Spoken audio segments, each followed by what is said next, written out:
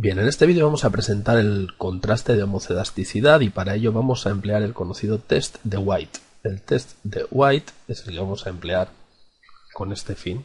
Es un test relativamente nuevo, es de los años 80 y como siempre en todo contraste de hipótesis pues vamos a formular por una parte cuál es la hipótesis nula, vamos a ver por otra parte cuál es la evidencia empírica y a partir de eso veremos que esa evidencia empírica tendrá una distribución conocida, lo que aprovecharemos para calcular un p-valor una probabilidad crítica y comparar esa probabilidad crítica con el nivel de significación que hayamos elegido. Es decir, es como un test cualquiera de los que hemos visto hasta este momento. Entonces, este test de White tiene como hipótesis nula, que la vamos a escribir aquí, la hipótesis nula afirma que, en efecto, se da la homocedasticidad. La alternativa ni siquiera la vamos a escribir. Lógicamente, la alternativa lo que dice es que no se da la homocedasticidad. Por ponerlo de una forma más eh, matemáticamente correcta, lo que afirma la hipótesis nula del test de White es que la varianza de cada uno de los términos de error es sigma cuadrado y que eso es igual para todo. Y es decir, es exactamente la segunda hipótesis de Gauss-Markov. La varianza de los errores, de los términos de error, es igual para todos ellos.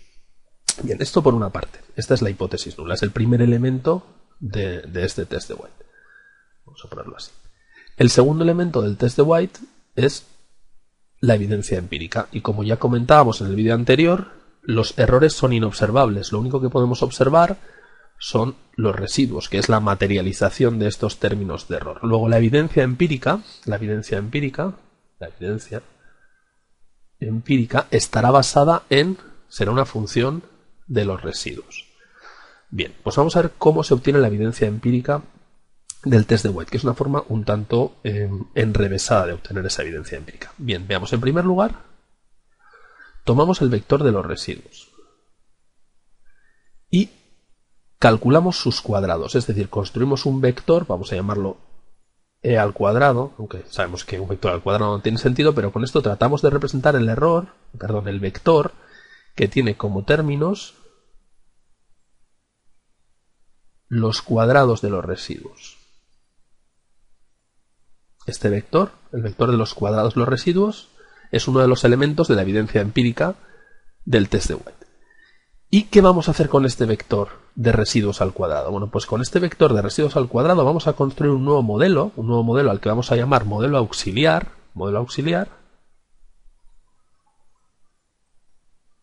Y este vector de residuos va a ser la variable dependiente en ese modelo auxiliar. Es decir, la variable dependiente va a ser el vector de los cuadrados los residuos.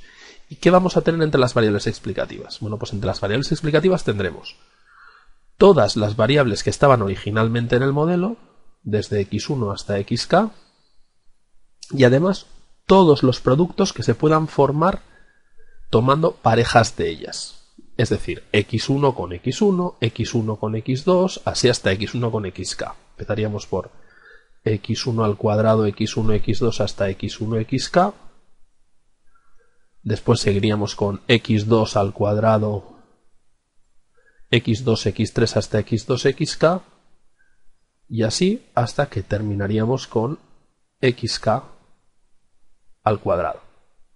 Por ejemplo, si tuviéramos eh, en el modelo original x1, x2, x3, pues aquí estarían x1, x2, x3, es un 2.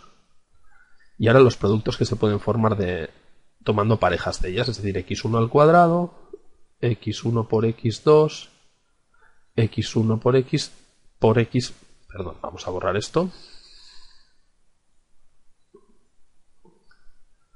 x1 por x2, x1 por x3,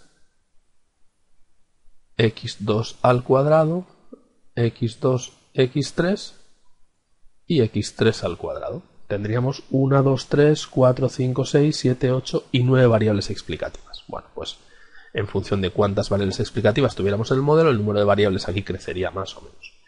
Perfecto. Luego, dejando este ejemplo concreto de lado, volviendo a este modelo de aquí, este es el modelo auxiliar en el test de White. Es decir, un modelo en el que la variable dependiente es el conjunto de los cuadrados de los residuos y entre las explicativas están todas las originales y los productos que se pueden formar tomando parejas de ellas. Pues bien, este modelo auxiliar tendrá un coeficiente R cuadrado determinado. Tendrá un coeficiente R cuadrado determinado.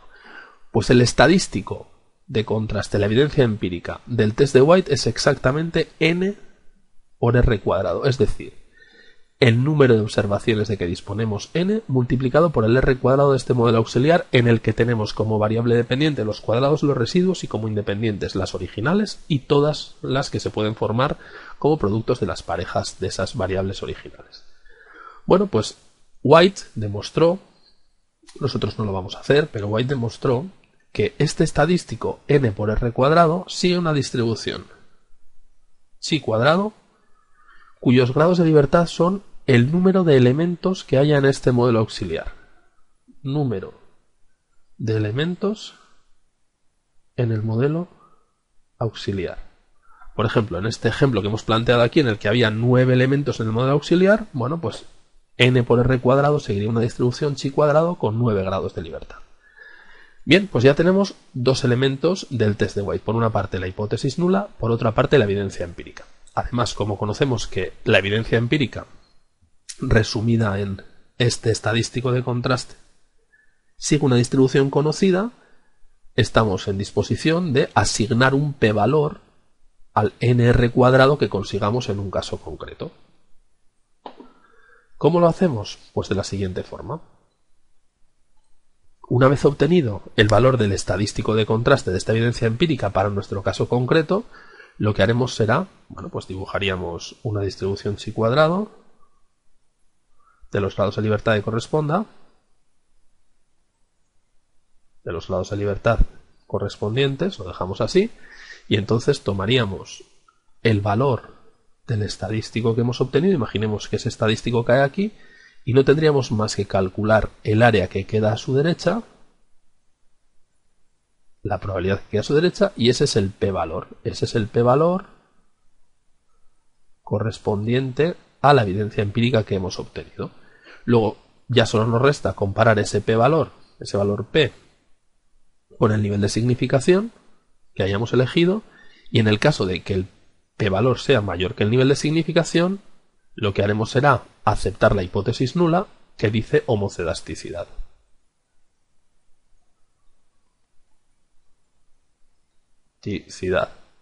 Y en caso contrario, si el p-valor que resulta es menor o igual que el nivel de significación, lo que diremos es que hay evidencia suficiente como para decir que la hipótesis nula eh, no es cierta y diremos que existe heterocedasticidad.